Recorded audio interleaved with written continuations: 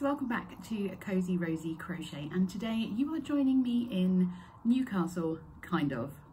So today I'm attending the North East Wool Festival. I'm pointing up because I'm pretty much as far north as I can get in England without going into Scotland.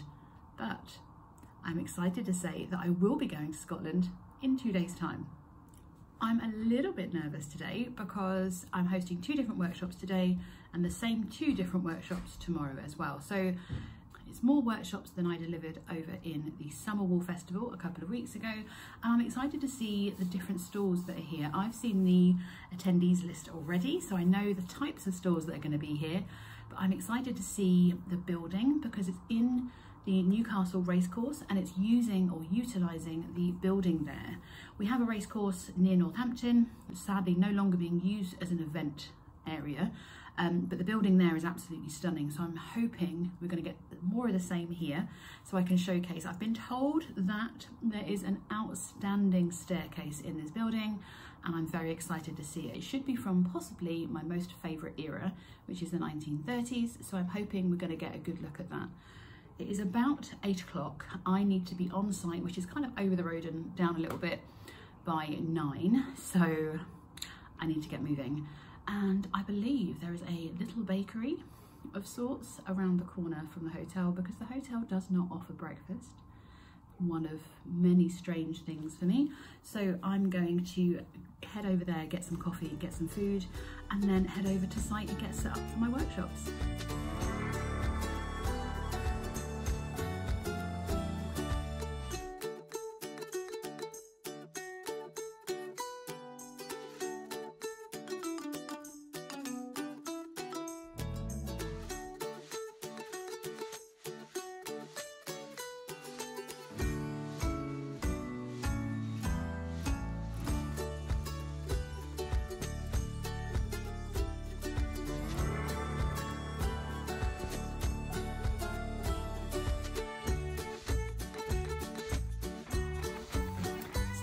it's the end of day one at the Newcastle Racecourse and the North East Wool Festival. It's been an absolute pleasure today, it really has. Time absolutely flew. I can't explain where the day has gone. I've just come back from having a lovely meal with the lady that was doing workshops opposite me. Her name is also Fiona, which is quite amusing to me. And it's now chill time, but I do like to process. So I'm gonna process it all with you my overall feeling is this is an amazing event. I believe it's the first time that it's been held at the North, no, North, at the Newcastle Racecourse. I'm going to put lots of footage in here to show you how beautiful this building was because my mind was absolutely blown. As I mentioned earlier, it was, I knew that there was going to be quite an impressive staircase that had been mentioned in the directions to where my workshop space is. I hadn't prepared for the chandeliers. What really amused me was that I've had to admit that I had never been to a real racecourse before. Um, in fact, where I live, there is a park that is called the racecourse, but the pub on the near the corner of this park is called the White Elephant because the racecourse never actually opened. From the top of the kind of posh stand, I think it would be, or the older stand, where you can kind of picture people cheering on the horses as they run around the track and it was really quite an impressive building just as I expected. It was definitely a little bit older than I'd anticipated that it would be. Just absolutely beautiful grounds everything about it was lovely. The layout of the halls or the stalls in the hall absolutely lovely. I still haven't had a chance to look at the second floor. There's two different areas of um, stores to navigate through and have a look at. In the main hall, I caught up with, um, I think her name is Vicky, I might have made that up, from Allium Threads and managed to pick up myself some yarn. So I'm going to um, cake that when I get home and showcase that to you.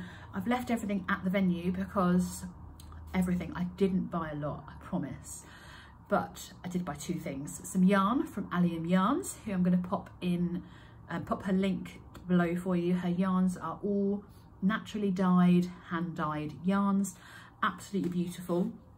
And I can't wait to show you this yarn that I've bought from her. And then I did buy something else, but it's a gift for my mum. So I'm not going to show you that because she will watch this and I don't want to give it away. It'll be her Christmas present probably. Or I might keep it for myself. I can't make my mind up. If I keep it, I'll show it to you. If I don't keep it, I won't show it to you. So if you don't see it at some point in this video, I have give, I will be giving it away. When I was talking to the lovely lady from Allium Yarns, I started, this woman was walking past, the most lovely pink hair, and she was walking past and she had this most beautiful granny stitch top. And I was like, oh my God, excuse me. I had to grab her arm and say, I love your top. And she decided to freak me out because she said, I knew you would. And I was like, what do you mean? How would you know? And she's like, well, you're hosting the Granny Stitch event.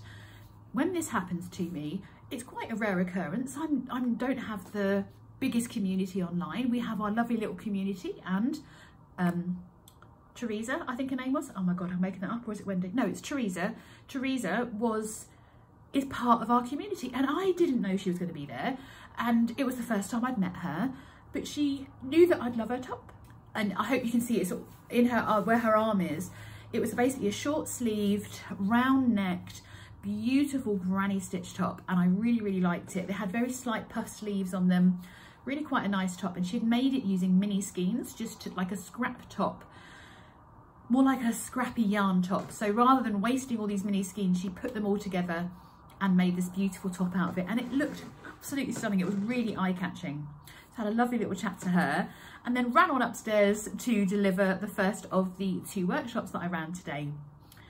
I really enjoyed them because we know that grannies, we do know that joining granny squares isn't always the most fun thing to do you know how much I love working different and unique joins, including the zigzag join, which does feature in this workshop.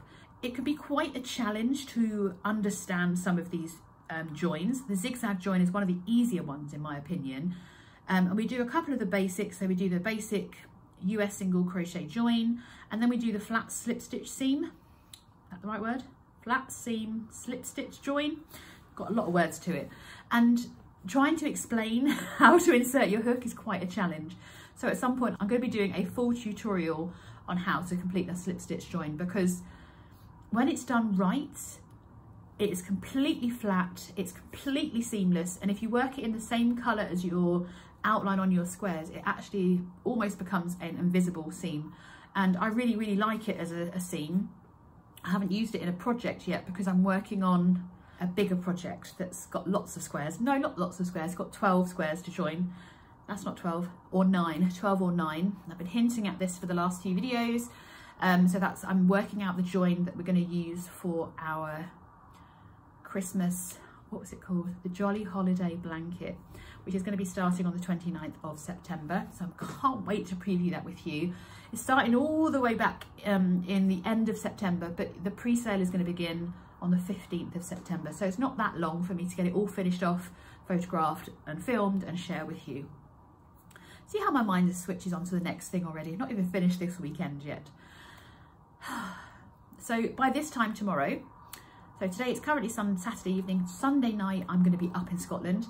Cannot wait now to get there, to get out of this room and stay in a nice hotel and just take some time out and chill today has been absolutely phenomenal. I am tired. My mascara is everywhere because when I get sweaty, it all ends up on the top of my lids and then it starts smudges underneath. I'm such a mess, hot mess, literally.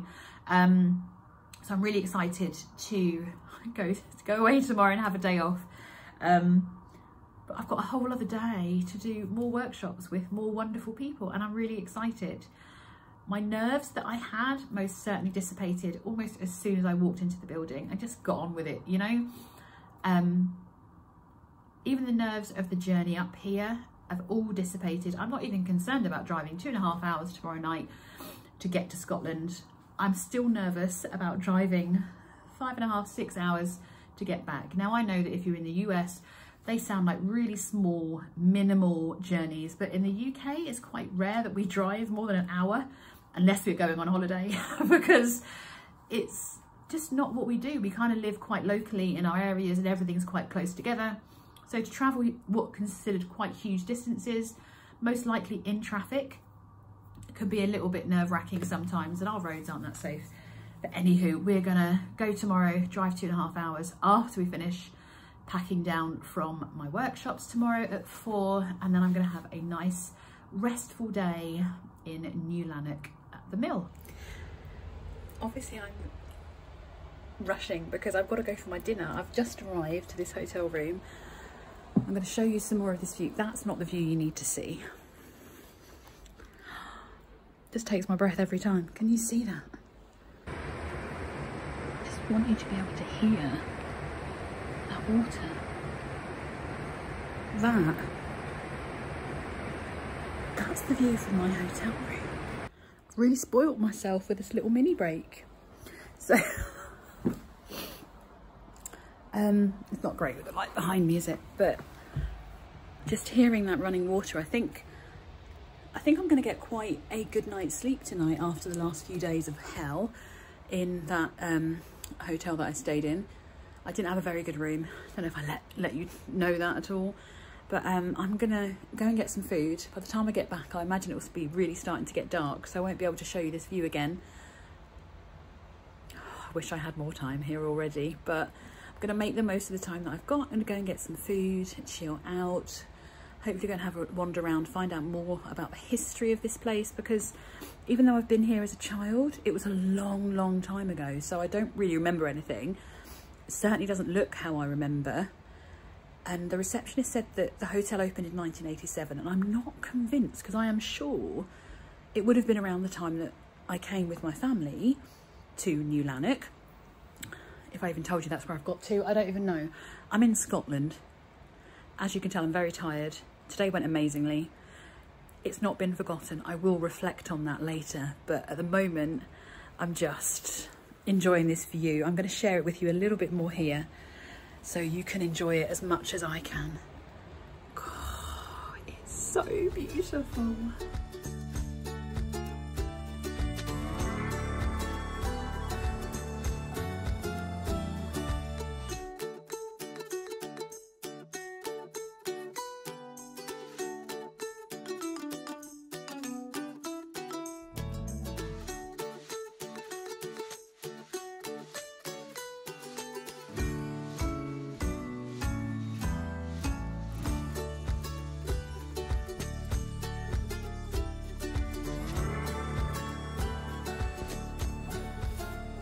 Good morning. I've been up for a little while. I've already had a little sneak outside. I've spent some time crocheting this morning. I'm classing this as a day off. I have already checked my emails. I've done all the absolute necessities for today. Got myself ready for the, I've got a featured pattern in the Granny Stitch event tomorrow, so that's all ready to go. All that's left to do today is to have a few hours walking around New Lanark Mill, finding out more about the history, and understanding more about what um, Robert Owen did for the community of New Lanark. He was essentially the grandfather that inspired the cooperative societies that still run today um, in the UK and across the world.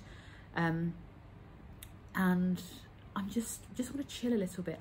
I've had some time this morning where I've sat in the windowsill watching the Clyde go by, rumbling away because it's really quite a high water level today um, or yesterday as well um, and yeah I'm feeling very relaxed very chilled and I am taking this as a day off as I said because I don't really take a lot of time out. As you can see I look very well rested but I'm hoping that I'll be more so but I do have quite a long journey to get home. My inspiration for coming up here is I did come as a child and I want to remember well, I don't really remember a lot of the trip actually. I've obviously been to Scotland quite a few times. My mum is Scottish um, and my uncle actually only lives about 25 miles from here. Um, I haven't told them I'm here. I'm just going to nip back home again. I'm only here for literally like 12 hours. Not quite true. 24 hours by the time I leave. It's going to be a six hour journey home. So I haven't included stops in that. And obviously I need stops. So it's going to be quite a journey home. So I'm going to try and cram in as much as I can before I go. It's about nine o'clock. I've got two hours before I've got to check out of this room, which is absolutely stunning. I slept like a baby, really comfortable bed. I'm absolutely convinced I have the best view in the whole hotel. I've shared that view with you. If you've been on my social media, I've been sharing that as much as I can because it's absolutely stunning. and literally spent a good hour this morning because I'm such an early riser, made a coffee, sat in the windowsill, crocheted as I watched the Clyde go by. And I do feel very, very relaxed. I'm going to go for a very small walk. I won't call it a hike because that'll be insulting to people that hike. Um, there's a path that runs alongside the Clyde. There's a viewpoint I want to visit. I'm going to try and do all of that before I need to check out. By that point, the visitor centre should be open. I knew Scotland was beautiful, but on the drive up here, obviously I, I don't touch my phone when I drive, otherwise I would have shared everything with you. But to see the hills, the pine trees, the it's just absolutely breathtaking. And it's really lifted my spirit and I'm hoping all I need is just a few more hours and I'll be ready to carry on with my very packed remainder of the month and potentially year. I'm to go and get out there. The sun is shining. I can't believe that I'm in Scotland. It's raining in England, but it's dry here. I want to make the most of it.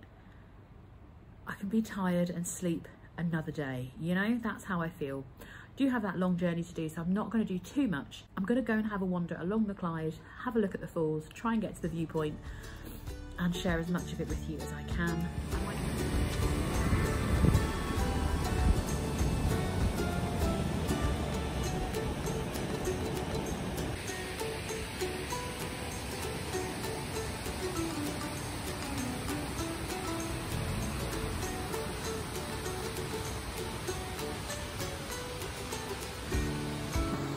So I can't show you how amazing this is because the camera doesn't kind of see through the trees like our eyes do. Of course I'm out of breath, I'm really unfit. But behind me there is what I can only assume is like a cutout from a glacier or something like that that would have sliced through this area. You know, it's all that kind of exciting history stuff, but it's just, it's breathtaking and the fact that it's I've been walking up the hill, so I'm quite literally out of breath. Anywho, I'm gonna keep going because I think the viewpoint is that way. I go and try and grab you some images from up there. It's, I'll try and show you. I just don't think it's gonna capture it as beautifully as it actually is. Does that make sense? You're gonna have to come yourselves, I think. So I found a sneaky viewpoint up a bit of a hill so you can see. Let me show you properly.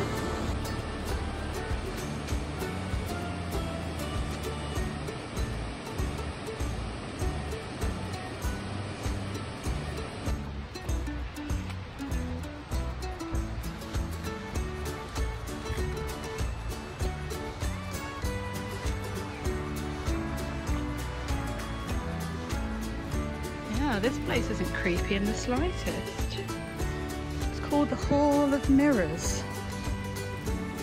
It has mirrors on the ceiling to allow people to view the falls. I keep wanting to say Vera Lynn, but that's not right. What are they called again?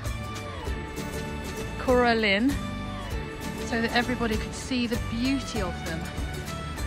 But I'm not feeling the most chilled. There's a massive like water tower thing I think associated with the hydro water thing. Hmm. And it literally makes me think of, I'm not even going to say the word, a film with a clown in it. So I am not necessarily taking a lazy way back. So that ceiling there would have been covered in mirrors and that would have, this window would have captured the beauty of the Clyde and the falls of the Corra Linn but I am getting out of here. I'm doing ABA. You can still hear the Corra Linn down there. I am heading back. I've had enough of being on my own in the wilderness, even though it's a pathed walkway. Oh, there's a squirrel. Right, I'll see you in a minute. So there's the Corra Linn. There's the Corra Linn uh, Falls. I can't even tell you. Look, they're not the stairs I just walked down. It was these stairs which go all the way up there. I am actually sweating. It's incredibly humid. There's loads of bugs, but it is beautiful. You can't see it well enough. If I can make it darker. Oh, there we go. I've really had enough now. I'm going back to get a cup of coffee and to not talk myself into thinking about films with clowns in. And yeah, I am literally sweating, so humid, there's bugs. I'm really pleased I've seen what I've seen. I'm in no rush. there's more to see and I just can't, it's too warm. And I want to go and have a look in the museum as well because I am already conscious of time, which I don't want to be. I want to relax and enjoy it. So yeah. Oh, I saw the, um, whatever that says, Bonnington Pavilion, which is then the Hall of Mirrors. And yeah, but look how much I'm sweating. So yeah, I'm going to get a cup of tea. I'll be back. So after heading back down towards the mill, I then had the opportunity to head into the working elements of the mill and see the school that was established for the workers' children too. The mill is still a working mill where they're spinning yarn and various other fibres together to create beautiful British handmade wool. Sadly, the mill itself wasn't actually running and spinning yarn that day, however, I have seen that somewhere else, so I wasn't too bothered. It was really interesting to learn or to notice that the motors that are running along the ceiling work not only the machine you'll see running in a moment, but all the machines run from the same motor run by the water mill. The last machine that I'm going to show you is really interesting because it shows how they take the spun yarn and apply the different strands together. And I haven't seen this machine in action before, so it was really interesting to see it.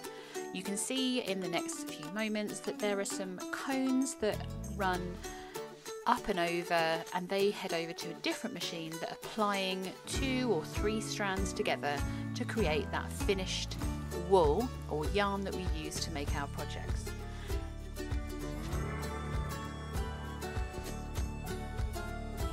I also had the opportunity to visit what would have been a worker's house, which was set in the 1930s and gave an insight into how they lived while they worked in the mill at the same time. It was really interesting to see the type of lifestyle they led, but overall, this weekend has been truly fascinating. I really hope that you've enjoyed learning more about um, my time at the North East Wool Festival. I know it's going to be back there next year, so I hope to see you there and learning more about my little mini visit to the new Lanark Mill. It's been an absolute pleasure to have you come around with me as I headed out this weekend, and I'm going to see you again in the next video.